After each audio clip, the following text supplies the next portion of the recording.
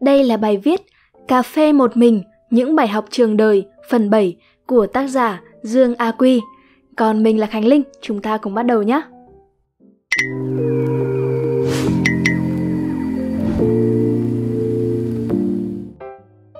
Bài học thứ 10, những người bạn. Tôi vốn là người sống khép kín, nội tâm nên cũng không có nhiều bạn. Hồi ấy tôi chỉ chơi chung với nhóm bạn cấp 2, có khoảng 6 đứa, tính cả tôi. Thỉnh thoảng chúng tôi hay tụ tập buổi tối để uống trà đá, cắn hạt dưa, hạt hướng dương và chém gió. Các bạn tôi đứa nào cũng có nghề nghiệp ổn định cả rồi. Đứa mở cửa hàng, đứa làm nhân viên văn phòng, đứa thì kinh doanh cho thuê đồ, đứa mở cửa hàng điện thoại. Duy chỉ có tôi lúc ấy là chưa có nghề ổn định. Thế nên tôi cũng ngại gặp chúng nó. Nhưng thằng bạn thân nhất của tôi thì luôn nhiệt tình rủ tôi đi. Thậm chí khi tôi vừa lý do xe hỏng thì nó lặn lội sang đón tận nơi, khiến tôi không nỡ chối từ. Thằng này thì làm ở phòng kế hoạch, chuyên lập kế hoạch cho dây chuyền sản xuất. Nó may mắn vì có người nhà làm trong đó. Họ kéo nó vào dù nó làm không đúng chuyên ngành học. Chẳng sao, giờ thì chuyện làm đúng hay trái ngành cũng đâu quan trọng nữa. Có việc để làm, có tiền để tiêu, có một chỗ đứng trong cuộc đời này. Ấy là mục tiêu của tôi khi ấy, và cũng là của cả đám. Nó hay kể về công việc của nó, thứ mà chúng tôi nghe chẳng hiểu gì. Tôi rất quý nó và cũng thầm ghen tị với nó đôi chút. Ngày xưa tôi học giỏi hơn nó, vậy mà ra trường đời nó lại may mắn hơn tôi. Tôi luôn tự dằn vặt mình. Tại sao mày lại ghen tị với điều đó? Chẳng phải tất cả những gì ở hiện tại đều là do mày chọn đó sao?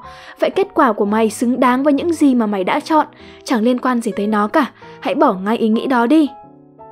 Nghĩ vậy nhưng mà không dễ dàng làm vậy được. Dẫu sao điều đó không quá ảnh hưởng tới tình bạn của chúng tôi. Nó vẫn là một thằng anh em tốt của tôi cho tới bây giờ và mãi sau này. Một thằng bạn nữa có nhà mở cửa hàng cho thuê đồ tiệc, bàn ghế, bát đĩa, dạp đám cưới, đủ thứ, tự chung là đồ cho các đám cưới, đám ma, tiệc tùng, buffet. Nhà nó thì luôn trong tình trạng thiếu người làm, dù huy động cả gia đình, bố, mẹ, nó rồi thuê cả người làm nữa thì vẫn không đủ. Tôi lúc ấy đã bí tiền lắm rồi, đành hỏi nó um, cho tao tới làm được không? Nó nhìn tôi một hồi, tưởng tôi đùa. Thật đấy, trả công cho tao như mày thuê người làm bình thường ấy. Nó gật đầu, vậy là tôi có thêm một công việc mới. Lần này tôi làm vì tiền, không phải để thử sức như trước nữa. Tôi giấu gia đình, giấu người yêu việc tôi đi làm thuê. Bảo họ là tôi tìm được việc làm để họ yên lòng mà không gây áp lực đến tôi nữa. Vậy là gánh nặng trên vai cũng vơi bớt phần nào. Nhưng mà công việc không hề đơn giản như tôi tưởng. Tôi vốn nghĩ nó làm được thì mình cũng làm được. Nhưng mà khi ấy thấy những thứ bày ra trước mắt thì tôi không tin vào mắt mình. Rửa bát, đĩa, chén, cốc cho hàng trăm mâm cỗ. Đẩy hàng lên xe ô tô để cho thuê, thường chật kín một xe tải loại nhỏ. Di chuyển đến nơi cho thuê để thu dọn đồ về, đem về để rửa, cất vào kho. Mùa hè thì không sao, chứ mùa đông thì ngại lắm.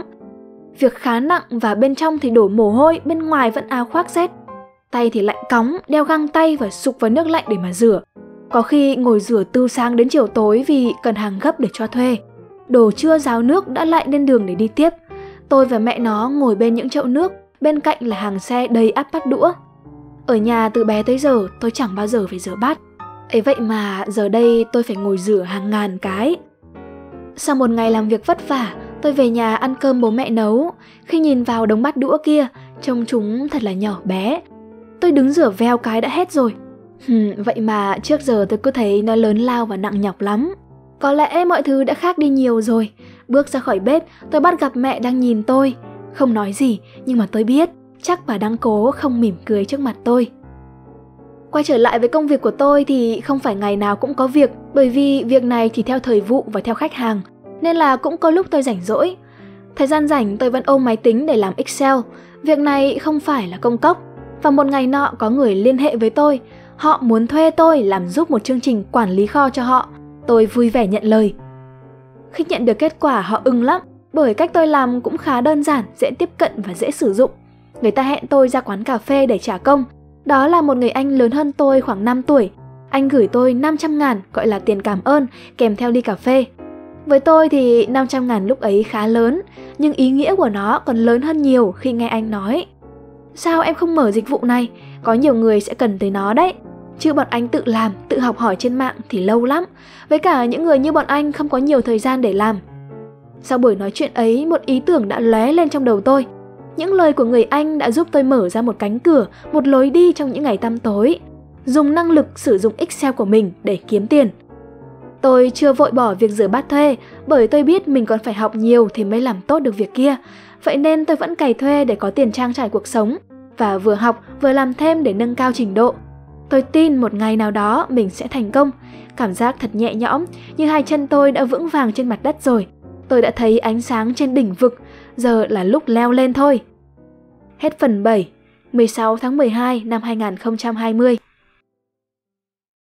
Đôi lời tâm sự mình rất vui vì series bài viết này nhận được nhiều sự quan tâm và ủng hộ của các bạn. Qua 7 phần vừa rồi, mình nhận ra một điều là có rất nhiều bạn có chung cảnh ngộ giống mình. Chứng tỏ chúng ta không hề đơn độc, chỉ là chúng ta ít khi được nghe người khác mở lòng thôi đúng không? Cũng có nhiều bạn đang bơ vơ lạc lõng và muốn biết kết thúc của series này để tìm một hướng đi. Mục đích của mình khi thực hiện series này là chia sẻ hoàn toàn thật về những gì mình đã học được, mình đã trải qua trong cuộc đời mình. Tuy nhiên, mình cũng chưa phải là người thành danh hay là giàu có gì cả, chỉ là một người rất bình thường mà thôi. Vậy nên đích đến của series này không phải là đi đến thành công, không phải là sự giàu có, nổi tiếng hay định hướng. Nó chỉ đơn giản là một sự gợi ý, một ly cà phê để bạn thư giãn mỗi ngày để có thời gian suy ngẫm và lắng động. Từ đó mỗi người sẽ tự xác định được hướng đi cho mình, tự đưa ra những quyết định trong đời. Mình chọn Spider Room để viết và đăng nội dung này bởi vì đây là nơi đã giúp mình phát triển khả năng viết, có thêm nhiều kiến thức và những người bạn. Dù không biết mặt biết tên nhưng mà họ đã cho mình nhiều bài học bổ ích. Do đó mình cũng muốn đóng góp một chút ít cho cộng đồng, cho những người đi sau. Trước hết thì mình viết vì mình muốn viết, muốn ghi lại những suy nghĩ trong đầu mình ra thành câu chữ, bởi thời gian càng trôi thì những ký ức, những cảm xúc càng nhạt dần, bài học càng khái quát dần, khiến nó không còn gây xúc động và không cụ thể nữa, như thế thì sẽ không có ích cho ai cả. Sau đó là viết cho những ai cần, bởi vì mình biết cảm giác đơn độc không lối thoát nó tệ hại thế nào. Chỉ ước giá như có ai đó chỉ cho mình một hướng đi, hoặc đơn giản là có ai đó cũng như mình để thấy mình không đơn độc, vậy thôi. Sau cùng là viết cho con cái mình, thế hệ sau này, để chúng biết thật sự cha ông chúng đã sống thế nào, chứ không phải chỉ là những lời kể ngày xưa trong mỗi bữa cơm nhà. Bởi vì khoảng cách suy nghĩ trong các thế hệ là rất lớn, nếu chỉ nhìn vào kết quả và một vài câu nói sẽ không thể nào hình dung được hết vấn đề.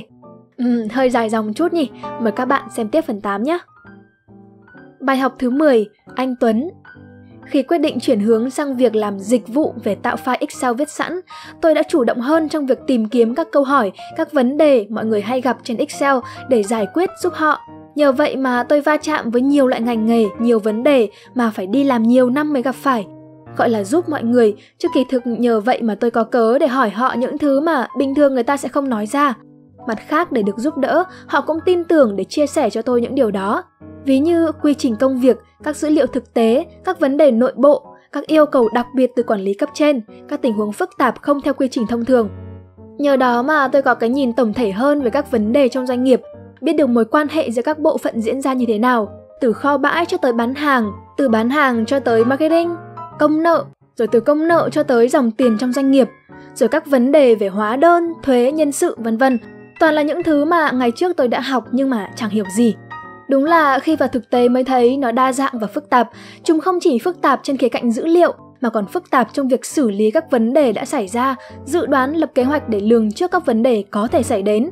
Những điều này đòi hỏi tôi phải vắt óc suy nghĩ, tìm thêm dữ liệu, hỏi thêm nhiều người để tìm lời giải.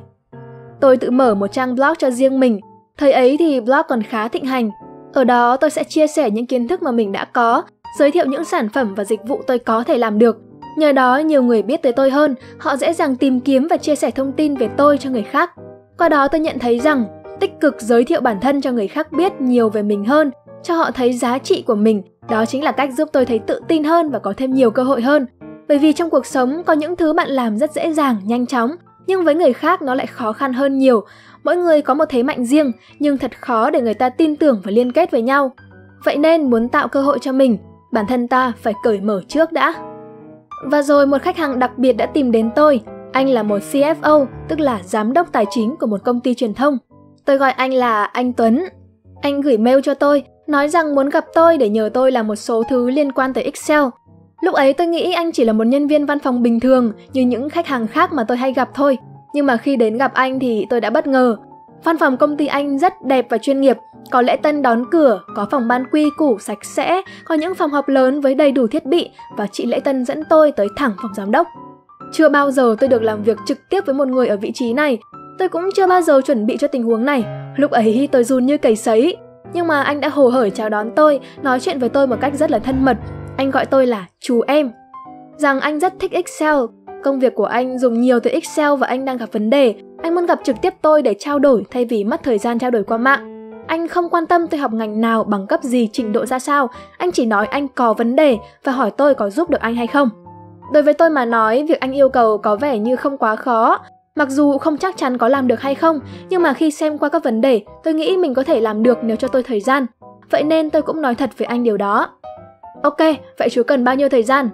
Ờ, cho em 2 ngày. Chắc chắn nhá, anh tin chú làm được. Tôi tự nhủ với mình rằng sẽ cố gắng hết sức để không làm anh thất vọng. Anh còn tiễn tôi tới tận cửa. Không hiểu sao anh lại dành cho tôi một sự ưu ái lớn đến vậy. Cho tới khi dắt xe ra khỏi cửa bảo vệ, tôi vẫn chưa hết run. Không phải là run sợ nữa mà có lẽ là một niềm tự hào đang trào dâng trong tôi.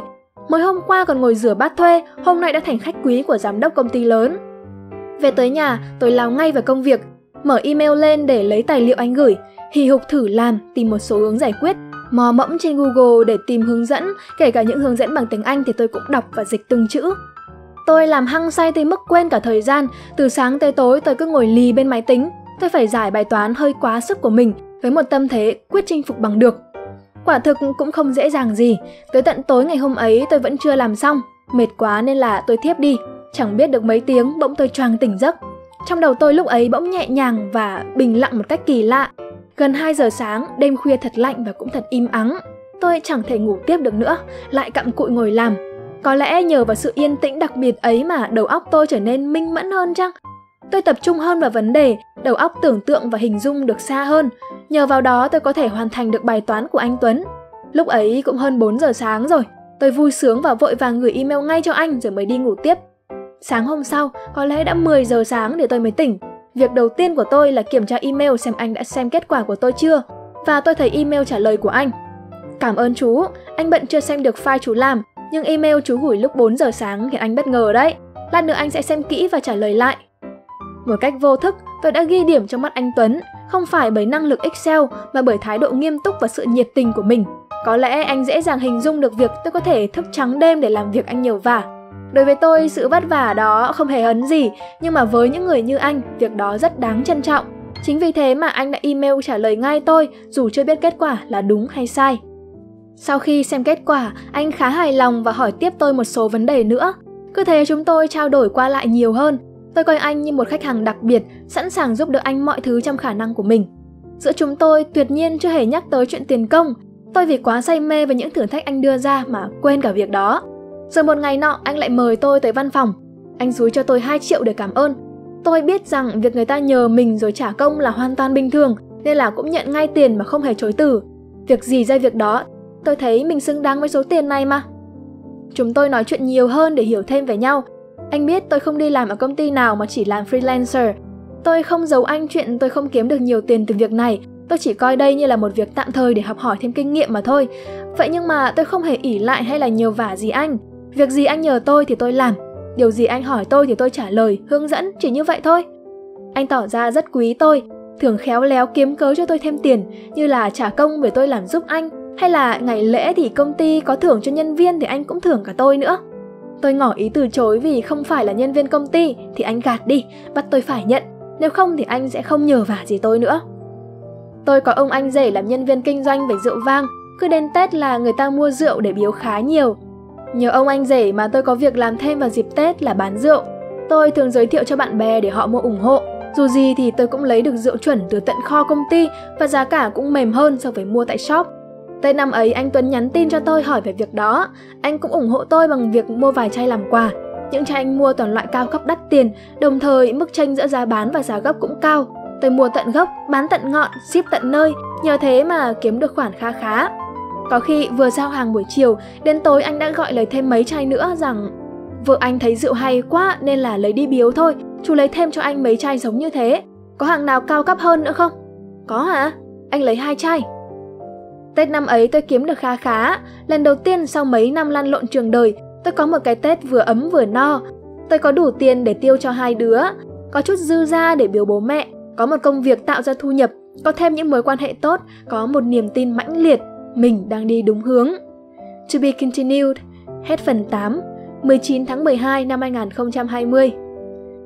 Hy vọng rằng các bạn sẽ thích video lần này. Đừng quên ấn like, share và subscribe ủng hộ chúng mình nhé. Và nếu các bạn cũng thích những nội dung như trên thì hãy đăng nhập vào spiderroom.com để tìm đọc thêm. Và mình là Khánh Linh. Bye!